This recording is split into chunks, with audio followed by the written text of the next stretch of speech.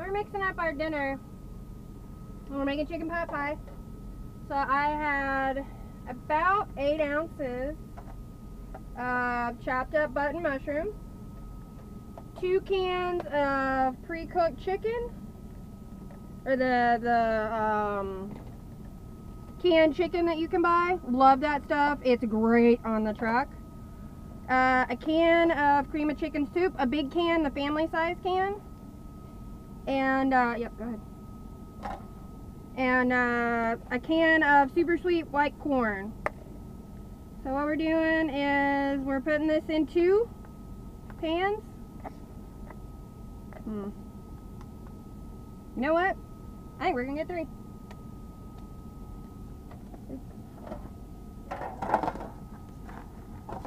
This looks like we're gonna get three. The, the, the third one's gonna be a little small, I think, but that's okay. Oh, maybe not. Now you can put whatever kind of veggies you want in this. If you like mixed veggies, if you like potatoes, if you like, oh god, the the op the options are endless with it. Yeah, last one's gonna be a little small, but it's okay. That'll be lunch instead of dinner. So for my crust, I'm using. I found crescent roll sheets, not where it's pre-cut into the crescent rolls. It's just a sheet of the crescent roll dough. And I'm just to lay this on top. It doesn't have to look pretty. It's to bake off in the lunchbox cooker.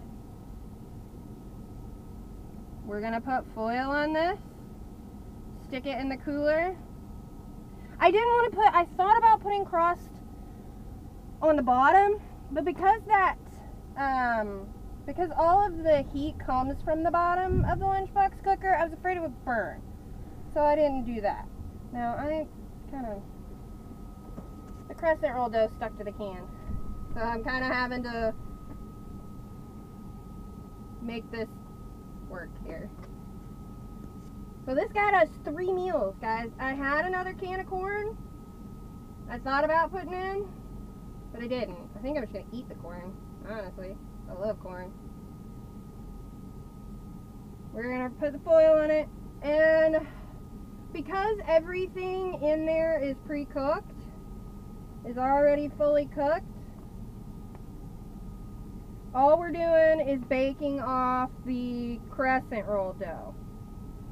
I don't know how long this is going to take. I'm not going to leave the foil on it when I put it in the cooker though this time because otherwise it's going to steam this and it's not going to brown as much as it might. So these look good. These are going to be good, I think. But this is three nights. This gets us all the way to going home. This is our meal. I think that one's gonna be lunch one day. It's a little, it's a little slim. So uh, we're at our delivery now.